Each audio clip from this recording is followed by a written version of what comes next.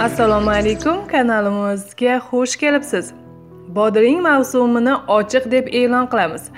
Voy bodring bozorlarga chiqqaniga ancha bo'ldi deyishingiz mumkin lekin unda qimmat edi. Endi esa kilosini besh mingdan olib bemalol iste'mol qilsangiz bo'ladi. Bugungi video lavhamizda bodring bilan davolash mumkin bo'lgan bir necha kasalliklarni taqdim etamiz. Eshitib hayratda qolishingiz aniq.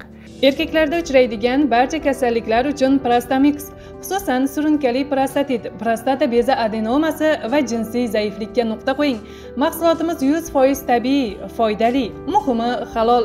Murojaat uchun ellik besh kodi bilan besh yuz uch yigirma ikki nol nol to'qson besh kodi bilan sakkiz yuz sakson besh yigirma ikki nol nol.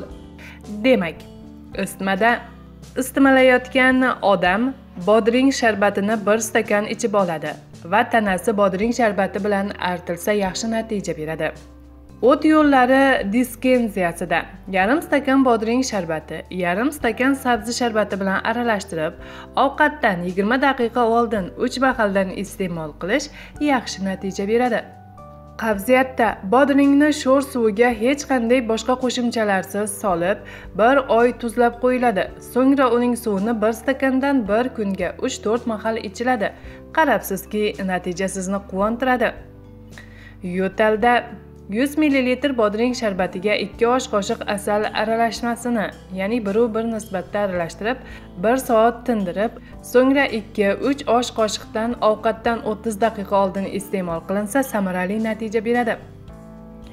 Spirtli ichimliklardan zaharlanganda tuzlangan bodring suvini ichish foydalidir. Yuzda sepkil bo'lsa bir stakan bodring sharbatiga yarim stakan limon sharbati to'g'ri keladi. Aralashtirib yuzga surtilsa sepkillarni yo'qotishga yordam beradi. Soch to'kilishida bosh yuvishdan 2 soat oldin boshga bodring sharbatini surtib qo'yish kerak. Albatta natijasi sizni quvontiradi. Bodring iste'mol qilish esa ozishga yordam beradi. Bodringda suv miqdori ko'pligi uchun chanqoqni bosadi. Azizlar sizlarga yetkazmoqchi bo'lgan ajoyib foydali ma'lumotimiz shulardan iborat edi.